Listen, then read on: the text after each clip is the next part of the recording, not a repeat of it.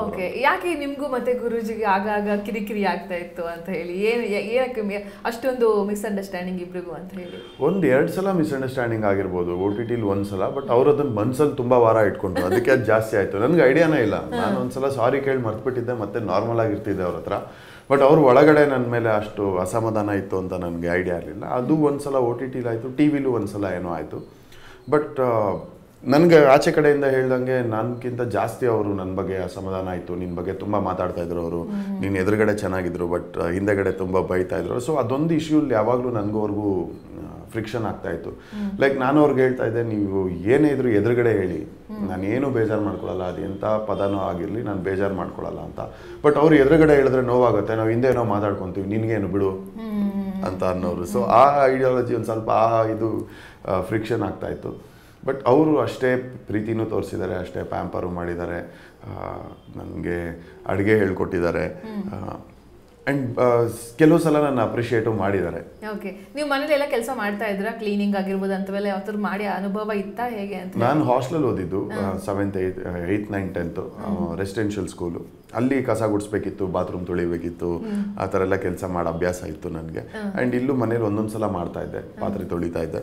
And ನಾನು ಆಶ್ರಮಗಳಿಗೆಲ್ಲ ಹೋಗ್ತಾ ಇರ್ತೀನಿ ಜಾಸ್ತಿ. ಅಲ್ಲಿ ಇಲ್ಲಿ ವಾಲಂಟಿಯರ್ ಸರ್ವಿಸ್ ಅದು ಇದು ಆ ಥರ ಪಾತ್ರೆ ತೊಳೆಯೋದು ಅಥವಾ ಗುಡಿಸೋದು ಕ್ಲೀನ್ ಮಾಡೋದು ಆ ಥರ ಅವಾಗ ಅವಾಗ ಮಾಡ್ತಾ ಇದ್ದೆ. ಸೊ ಬೇಸಿಕ್ಲಿ ಒಂದು ಲೆವೆಲ್ ಗೊತ್ತಿತ್ತು ನನಗೆ ಕೆಲಸ.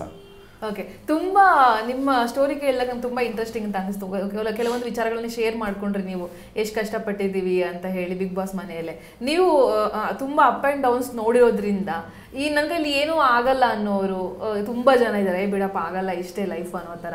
ಸೊ ನಿಮ್ಮ ಕಡೆ ಏನೋ ಒಂದು ಸ್ಫೂರ್ತಿಯಾಗಿ ಹೇಳೋದಾದ್ರೆ ನೋಡಪ್ಪ ನಾನು ಹಿಂಗೆ ಮಾಡಿದ್ದೆ ಇವತ್ತು ನೋಡಿ ಏನೋ ಒಂದು ಮಾಡಿದ್ದೀನಿ ಅಂತ ಹೇಳೋದಾದ್ರೆ ಅಂತ ಹೇಳಿ. ನಿಮ್ಮ ಹಿಂದಿನ ಜರ್ನಿಯ ಬಗ್ಗೆ ಸ್ವಲ್ಪ ಮೆಲುಕು ಹಾಕೋದಾದ್ರೆ. ಡೋಂಟ್ ಗಿವ್ ಅಪ್ ಅಂತ ನಾನು ಹೇಳ್ತೀನಿ ಅಷ್ಟೇ. ಆ್ಯಂಡ್ ಎಲ್ಲರೂ ಆ, ಬೇರೆ ಬೇರೆ ರೇಸಲ್ಲಿ ಇರ್ತೀವಿ. ಕೆಲವ್ರಿಗೆ ಫಾರ್ಟಿ ಇಯರ್ಸ್ಗೆ ಸಕ್ಸಸ್ ಸಿಗ್ಬೋದು ಕೆಲವರು ಟ್ವೆಂಟಿ ಇಯರ್ಸೇ ಸಕ್ಸಸ್ ಸಿಗ್ಬೋದು. ಸೊ ಆ ಕಂಪ್ಯಾರಿಸನ್ ಮಾಡ್ಕೊಳ್ಳೋದು ಬೇಡ ನಾವು. ಅಯ್ಯೋ ವಯಸ್ಸಾಗ್ತಾ ಇದೆ ಏನೋ ಮಾಡ್ತಾ ಇಲ್ಲ. ಅಥವಾ ಈ ವಯಸ್ಸಲ್ಲ ಅವ್ನು ನೋಡು ಇಷ್ಟು ಮಾಡಿದ್ದಾನೆ ನಾನೇನು ಮಾಡಿಲ್ಲ. ಆ ಥರ ಕಂಪ್ಯಾರಿಸನ್ಸ್ ಮಾಡ್ಕೊಬಾರ್ದು ಅದು ನಮ್ಮ ಮೈಂಡ್ಗೆ ಸಖತ್ತು ಇದಾಗೋದು.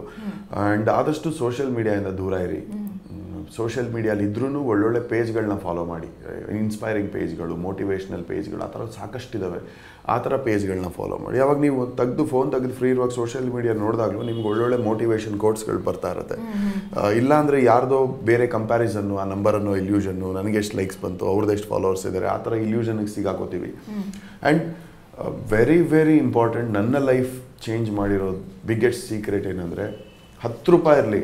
ನನ್ನ ಹತ್ರ ಹತ್ತು ರೂಪಾಯಿ ಏನೂ ಇಲ್ಲ ಅನ್ನೋ ಬಗ್ಗೆ ಯೋಚನೆನೂ ಮಾಡಬೇಡಿ. ಹತ್ತು ರೂಪಾಯಿ ಇದೆಯಲ್ಲ ನನ್ನ ಹತ್ರ ಅಂತ ಗ್ರ್ಯಾಟಿಟ್ಯೂಡ್ ತೋರಿಸಿ. ನನ್ನ ಹತ್ರ ಹತ್ತು ರೂಪಾಯಿ ಇದೆ, ನನಗೊಂದು ಹಾಕೊಳ್ಳೋಕೆ ಒಂದು ಬಟ್ಟೆ ಇದೆ, ನನಗೆ ಅಟ್ಲೀಸ್ಟ್ ಒಂದು ಇಷ್ಟು ಚಿಕ್ಕ ಕೆಲಸ ಇದೆ, ನಾನು ಇಷ್ಟಾರು ಮಾಡಿದ್ದೀನಿ ಅನ್ನೋ ಆ ಖುಷಿನ ನೀವು ಯೋಚನೆ ಮಾಡ್ತಾ ಹೋಗಿ.